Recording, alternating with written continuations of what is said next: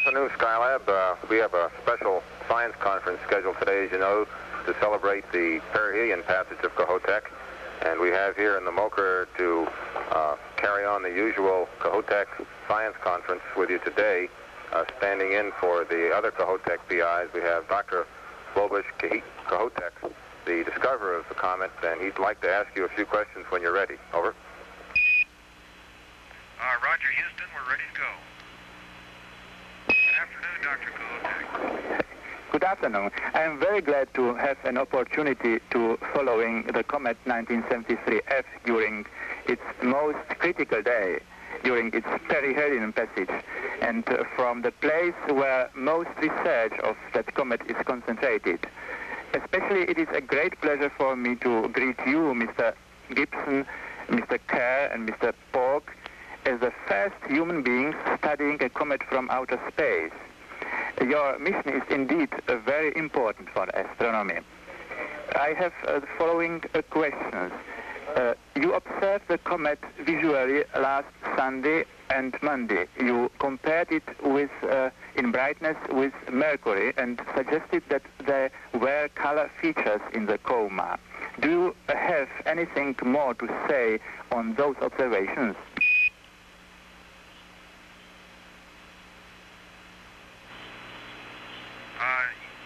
Not too much to add to that, sir, because uh, we have not seen much of the comet visually since those last observations. Uh, the one time in which I was the one who observed the color, uh, I have not seen the comet since. Uh, the next time I saw the comet was uh, on the uh, SO-52 white light coronagraph. Oh yes, oh yes. And how about the tail, for example? The tail we have found, uh, as it becomes more foreshortened uh, to us, uh, became much wider. And uh, uh, let me uh, let me give you figures that are relative to the display we have on the ATM. I would say that the the coma, the bright coma, was approximately uh, 3 sixteenths, 1 eighth to 3 sixteenths of an inch in diameter, and um, I would say that the tail that we could see, however foreshortened, uh, extended only about one quarter inch away from the coma and uh, spread like a fan to uh, approximately three eighths of an inch at its out, uh, outermost end. Uh, have you glimpsed the comet since Monday? I mean visually. Uh, no, sir, we have not. Uh, I saw um, a transmitted picture of the comet you got with the coronagraph yesterday. There is a certain indication of the tail on the copies available down here. I wonder how much of the tail were you able to see up there? Uh, Dr. Gibson uh, made that observation and uh, took a Polaroid picture that we have up here with us, and I'll let him speak to that.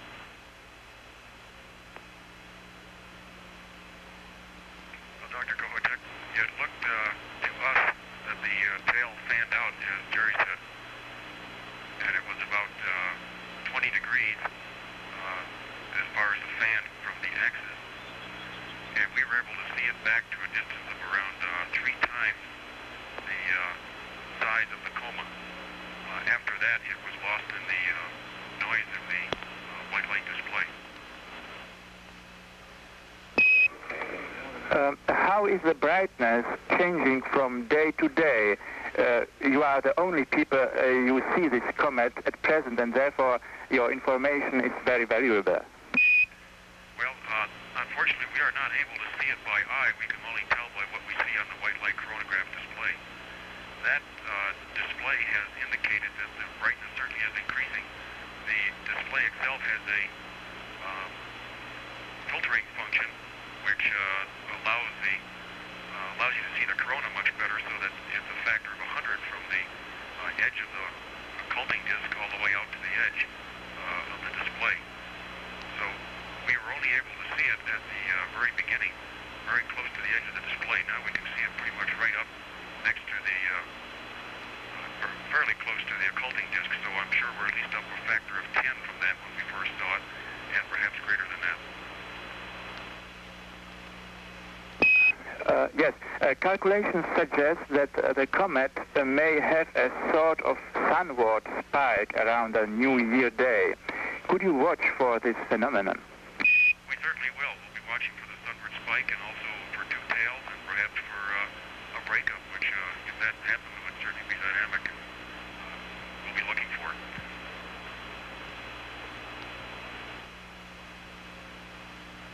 Uh, why don't I hand it over to uh, Bill Pogue and let him discuss the brightness also. We first started making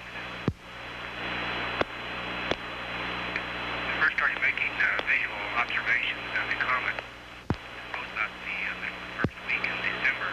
It was not visible up until that time.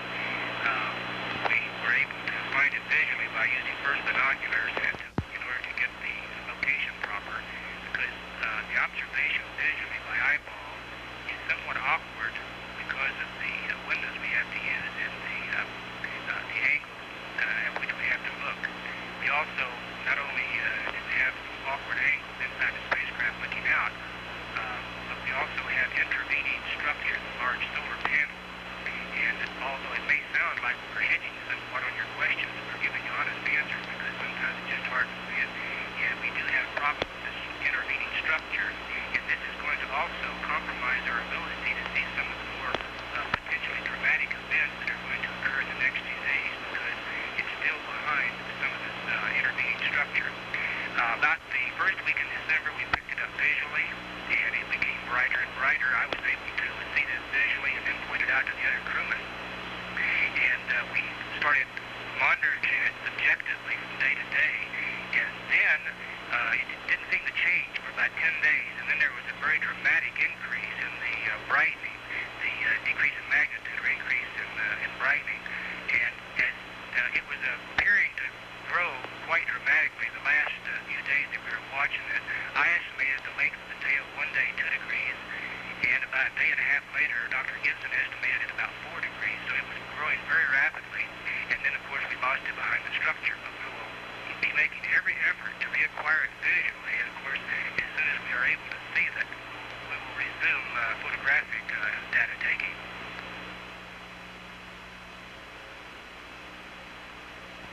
Uh, Dr. Kohoutek, we have a question we'd like to ask you.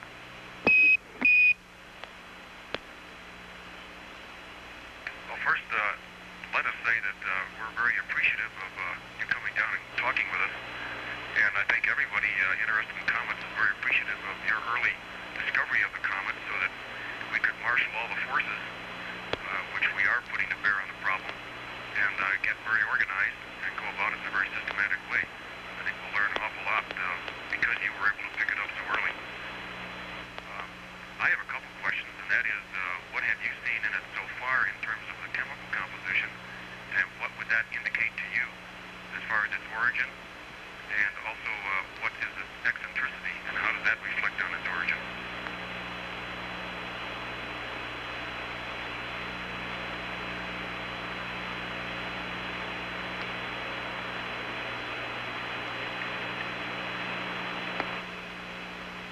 The answer will be coming right up to you, Ed.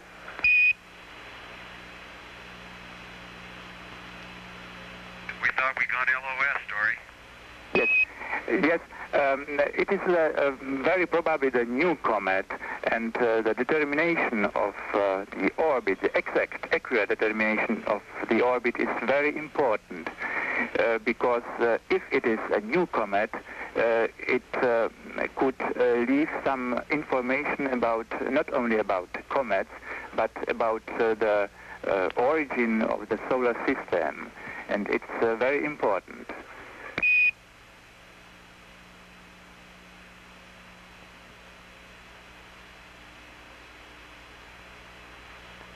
Oh yes, uh, to back to the question about the composition. Uh, of course, uh, all observations about composition are very valuable, but especially observations made during the perihelion passage are very important because, uh, as I said already, uh, you are uh, the only people you can see the comet now.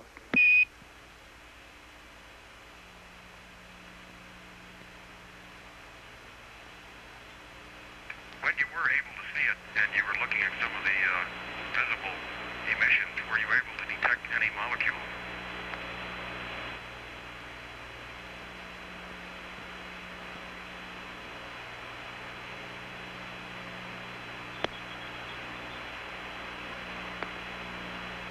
Uh, one uh, question, uh, ground-based observation of uh, the H-alpha emission um, was reported some time ago. Have you ever detected the comet's H-alpha emission? No, we've not. We have certainly tried to see it.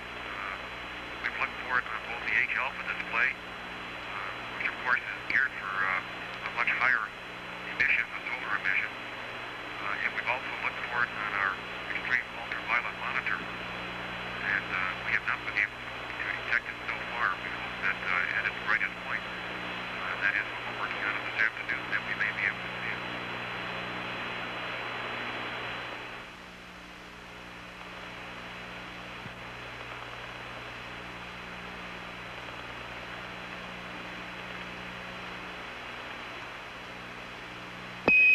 Yes, uh, thank you very much for a most interesting talk.